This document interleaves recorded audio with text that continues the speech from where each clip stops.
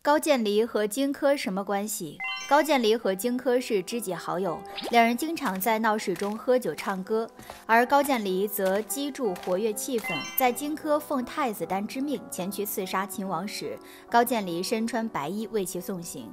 在荆轲刺秦失败后，高渐离因为擅长击筑，得到秦始皇的赏识，邀他入宫击筑。刚到大殿，高渐离就被人认出是荆轲的挚友，但秦始皇赏识他的才华，只是弄瞎了他的眼睛，让他继续。去击柱。有一次，高渐离在进攻击柱时，将灌了铅的柱向秦王砸去，没有击中，被秦始皇所杀。高渐离与荆轲虽然最后都没能善终，但他们之间的友情却被传为一段佳话。